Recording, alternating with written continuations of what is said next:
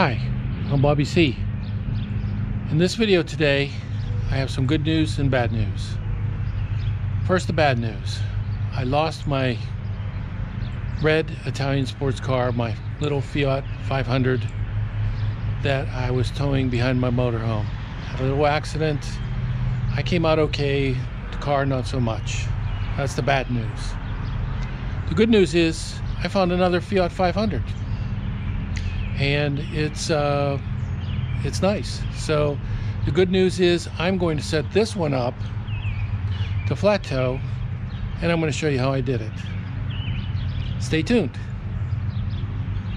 Okay, it's a rainy day out here today and I'm just waiting for my order from eTrailer.com so I can uh, set up my 2012 Fiat 500 for flat towing behind my motorhome and so I thought we'd take an opportunity to talk about, you know, why I'm doing this. I guess I've, I, if you haven't seen uh, the video that I made on flat towing a Fiat 500, uh, it's with my, my old red Italian sports car.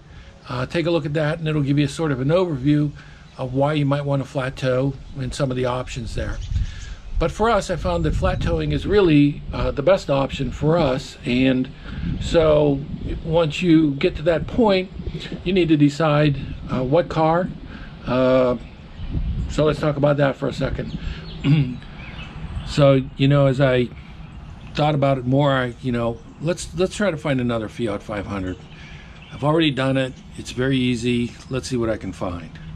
So um, I was lucky. You know, I started to look and actually on Memorial Day weekend, I, I found uh, Milli Vanilli, the the white uh, Fiat that I that I bought.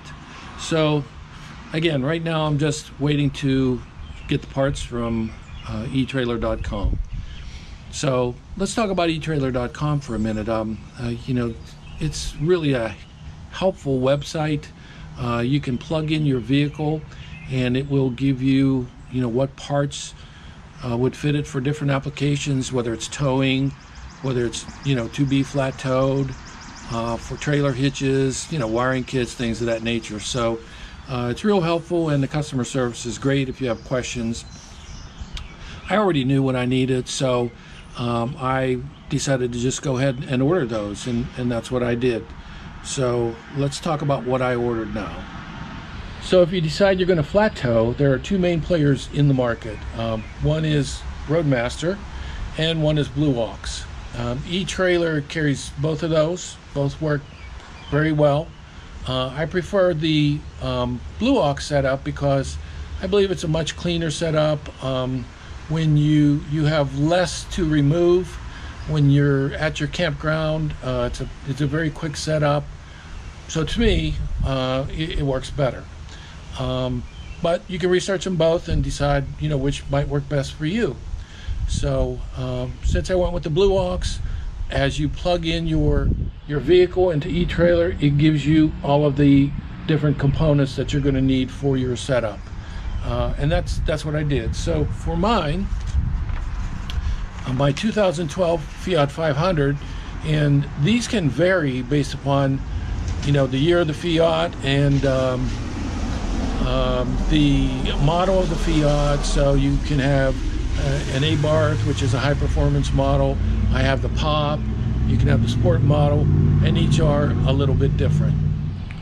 And so what I ordered uh, for my particular vehicle is uh, a Blue Ox base plate. So the base plate is what attaches to your frame that you you then attach your your, your tow bar and different components to. So I ordered the BX2801 uh, base plate kit. And I also ordered a uh, special um, bulb and socket wiring kit from, it's a Blue Ox manufactured. It is BX8869. You have to plug in the model of that one because they've now converted to uh, LED models of this, LED bulbs, and I, I did not want that. So uh, the this particular tail light wiring kit allows you to um, just connect to your trailer wiring and run your your your turn signals, your brake lights, your parking lights strictly from the connection to your RV. So no need to um, turn on the RV, turn the key on. Um, no need to tap into your your vehicle's uh, wiring system. So that kit is is pretty nice. Uh, uh, it, it, works well in the Fiat and could be used in other applications as well. I, I did not look for displacing into my uh, vehicle's wiring, so it makes it a lot easier too. And then I ordered a that that by the way is BX8869, so that's the Blue Ox tail light wiring kit, bulb and socket. I also got a, a front end, um, uh, a vehicle connector that is, uh, the model number is 294-0805. It is a four wire plug for Blue Ox coiled electrical cord vehicle end. So basically, your, your one end is a seven pin connector that goes into your RV. And on the other end is a round uh, four four wire plug connector. So um, I already had the the coiled wiring uh, kit that goes from the RV to your tow car, so I didn't have to order that again. But that that can be found on eTrailer also. And in addition to that, I just ordered some Loctite because when you're putting the base plate on, they do recommend that you use Loctite which is uh, sort of a, a thread uh, uh, sealant. It prevents your bolts from vibrating and loosening on your base plate, so you want this to be a permanent installation. The uh, total cost for all of these items that I, I ordered from um, from eTrailer was $572.36 and this is again Memorial Day weekend 2021 so um, you know, if you're going to get a setup done professionally by others, you, are looking at, you know, four four thousand bucks would be a ballpark of what it might cost you to have it done elsewhere. Now, the one thing that I don't get from my Fiat because it only weighs 2,300 pounds is I do not get a supplemental braking system kit. Um, so there's a number of those. If your vehicle weighs typically more than 2,500 pounds, you're probably going to need that.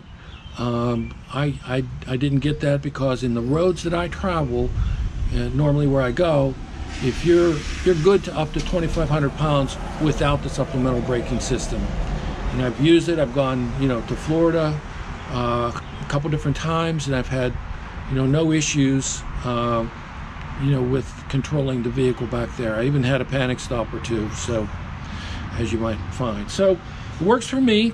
Um, um, you can add that later if you feel you need to, uh, but I, you know, I did not get that. So, you know, again, total cost, you know, five almost, you know, 575 bucks. That's pretty pretty cheap. So if you can do it yourself, uh, it's great. Uh, you don't have to be a master mechanic. I'm not. Okay. So, but I think just about anyone can do it with some minor tools I'll show you that when we get into doing the actual installation. Of course, the other thing you're going to need, if you don't already have it, I already have mine from the install before, is a tow bar. And um, I got a Blue Ox tow bar also with that. Uh, the one that I got is the Alpha model tow bar. Uh, it can handle weights up to, you know, the 2,500 pounds or, or less than my, than my car is. Um, but you're going to need that as well and that's going to run you another six seven hundred dollars so again total you know 1200 bucks somewhere in that neighborhood you can get set up towing this particular car for flat towing. So 1200 dollars or so would probably do it. Okay. It's fourth of july weekend. I ordered my parts from e-trailer on memorial day weekend. So sad story. They let me down this time. I called several times to eTrailer to find out what's going on, and the answer was we can't hire people. Hmm, 2021 thing. So um, I looked up the parts on Amazon. I was able to get everything on Amazon. So everything started to come in. Uh, we got the uh, bulb and socket wiring kit in. This is the Blue Ox BX8869 wiring kit. It has a an incandescent bulb that you actually mount inside your tail light lens and then a wiring kit that runs up to the front of the vehicle. Um, I'm going to run it up through the inside and through the firewall because I have an access point to do that. I'll show you where that is. Um, and then you have a connector that goes on the front, which is this. It's a Hopkins trailer connector. It's a four inch round connector. So you take your seven inch round from the RV and I have a coiled wire connector that goes into a four inch round like this. This is a kit with the male and female. I actually only need uh, the female, which is going to mount on my base plate. And so I'll be able to make that uh, connection from the RV to the Fiat and we'll be ready to go. So let's get started finally. Okay, we're going to remove the uh, the tail lights from the Fiat and uh, that's pretty easy. There are two 10 millimeter uh, screws that need to be re removed. Um, you pull it out after removing the screws, and then there's going to be two clips on the back of this uh, tail light assembly that you undo, and you've got the tail light out. Pretty simple. So here we go.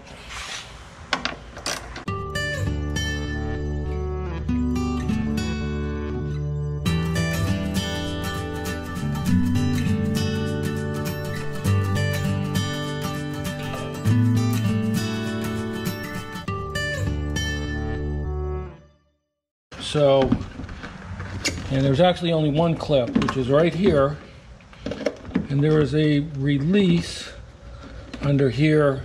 Um, I'm going to get a flat bladed screwdriver because that will help to uh, open this catch and release it. So, hold on. All right, let's, uh, using the screwdriver, get under here. And there it is. Here's the tail light assembly. We're going to take a number 10 Torx uh, bit and remove these four screws from the tail light assembly.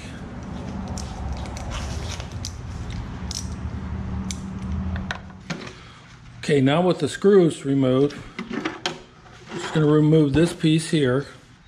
These are your bulbs and we're going to be adding a bulb actually it's going to fit in right about here I believe so um, we'll have to check it while you have these out I've already done these but it's a good idea to get some dielectric grease and put them on all the fittings you know this there is a seal here um, but you know, this area can get wet and these bulbs can corrode. So, you know, make sure you do that.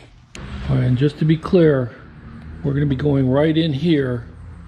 Um, so if you orient, it, orient this tail light assembly to the to the picture there, it shows that uh, we'll be going right into here. So into this large area, uh, you'll have room for another bulb. The bulbs uh, in these, if you should need to replace one, is a 2357, pretty common bulb. So 2357 would be a replacement bulb if needed. Okay, you'll need to drill a small hole here. So uh, this would be for the wires from your bulb kit that you're adding to leave the tail light assembly. And so you can hook them up. Uh, you want it to be just large enough to fit three wires through these three wires. You'll, you'll see when you go to drill the hole. Great position for it on both assemblies. So right here. Okay, once you drill the tail light out with the one inch hole saw, that's, that's where it's gonna be. So if you look at it in relation to the other holes, and uh, of course in the paper that I sent, uh, it's gonna be right there. So this is gonna go right in here and you can silicone that in and uh, you try to get it as flat as possible but that's not always possible. That's the best spot for this one. So you're going to use a lot of silicone around there. I did that on mine. It worked fine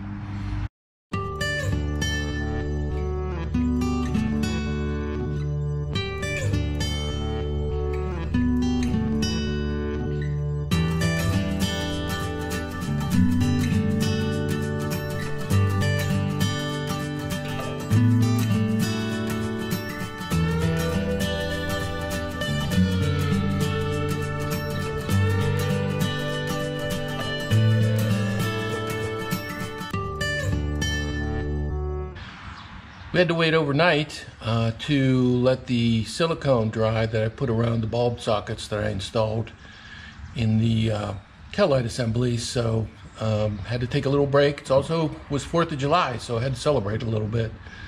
But now um, here is the completed um, bulb assembly. Uh, not the neatest thing, but again, not completely flat. So I had to make sure it was adequately siliconed uh, around the bulb. So ready now to uh, figure out how to run the wires up uh, through, make the connection to the tail light and run the wires up through uh, the inside of the car, which is what I chose to do. So we'll take a look at that in a minute. This is the loom of wire that is going to run up through the inside of the car. Now the white is a ground and the brown is your tail lights and then the yellow and green are for your left and left and right turn signal and brake lights. So the yellow is going to be for the driver's side and the green is going to be for the passenger side. So on your uh, driver's side tail light you're going to on both of these actually there's a tapping screw and a terminal. You're going to um, uh, attach your, your white to the car with a self-tapping screw. You're also going to attach a white from the loom that's going to run up through the car to this one on the driver's side. And the brown is going to go from side to side for your uh, tail lights. And then the black on this one on the driver's side is going to connect to uh, the yellow wire and on the passenger side the black is going to connect to the green wire. Instructions are pretty well laid out so you don't have to remember that. Okay, we were able to get access by pulling out a uh, plastic pin that was inside and we used a tool like this to remove it and uh, that gave us access to the back and also underneath we removed the sill cover here and we're able to get access to run the wires from one side to the other. Because you're going to run these the green and the brown from um, this tail light over to the other tail light uh, where you'll have the actually to the loom connection there. So uh, we're good to go. Here we got access coming through going under this little seal here, so I think we're we're good. We're going to still be watertight there. So, and here's where we drilled the hole, uh, just below the where the terminal plug comes in, and it was just large enough for our three wires to come through. Should really be watertight.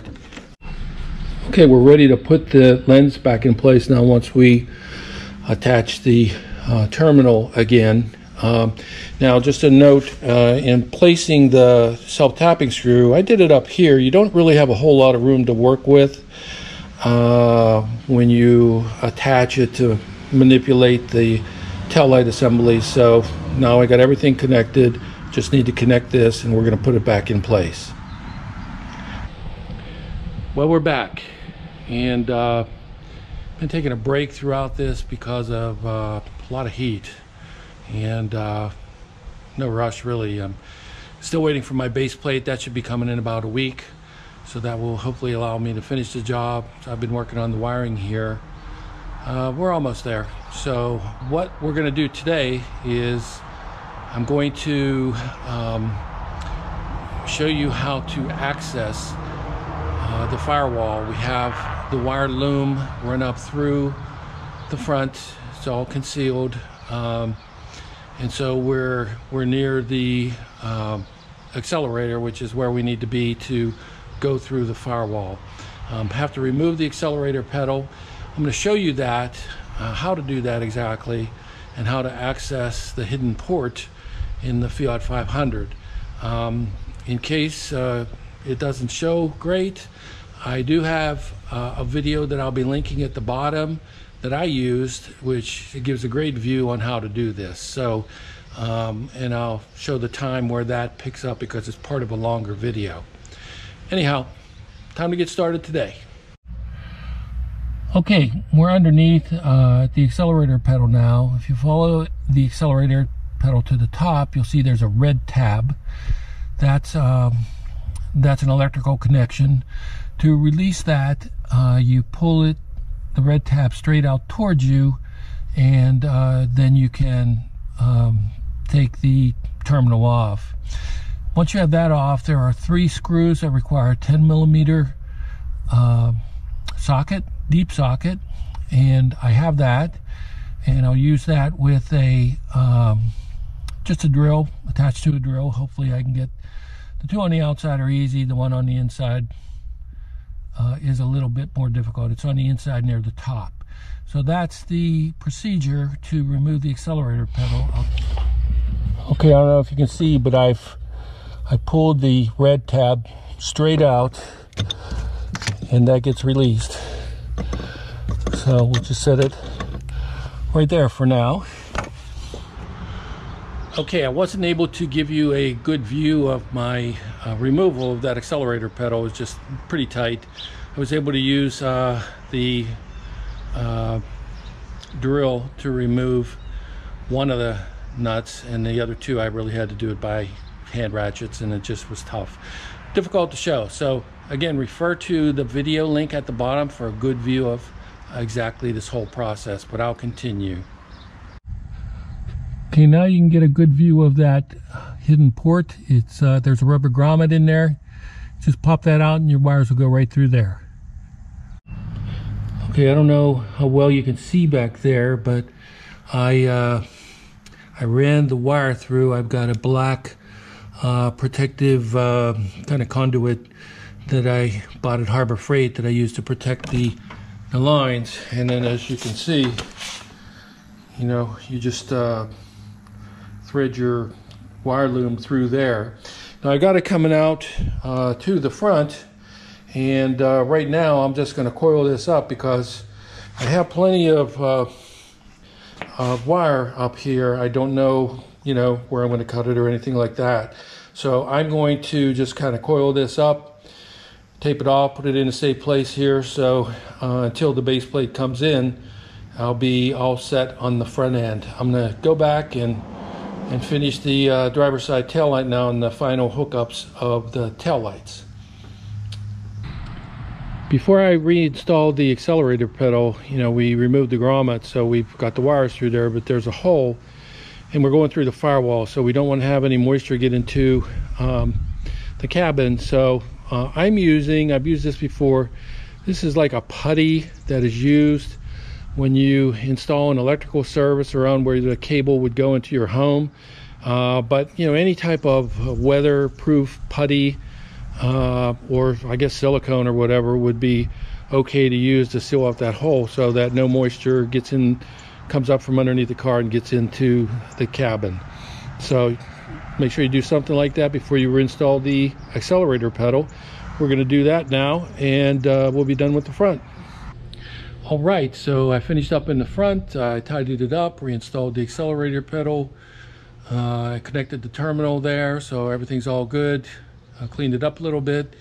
And uh, so I went to the back and I did reinstall the driver side tail light. Um, in process of doing that, I ran the uh, two whites uh, and uh, to the ground behind the tail light. So one from the loom and the one from of course, the tail light, those are now ground with a set screw, with a screw, self-tapping screw, to the frame uh, behind the tail light. I then connected the, the black in the driver's side to the yellow from the loom. That's your brake and turn for the driver's side. And then I connected the brown from the passenger side with the, the driver's side and um, so we have uh, two, two of the browns from the passenger side and from the loom going into the brown from the driver side tail light. So there's two browns crimped on one side, one on the other side. So all the browns are connected. Those are your tail lights. So we're good to go. I checked, uh, you know, reinstalled everything, uh, tried my regular turn signals, brake lights, etc for the Freon. That was fine. So now I'm going to temporarily connect a uh, four inch round, a four round uh, plug that I got from Hopkins to the, the loom wires and try it with my motorhome to make sure the wiring's all good. That's about all I can do until the base plate comes. So uh, another hot day. I got a lot accomplished.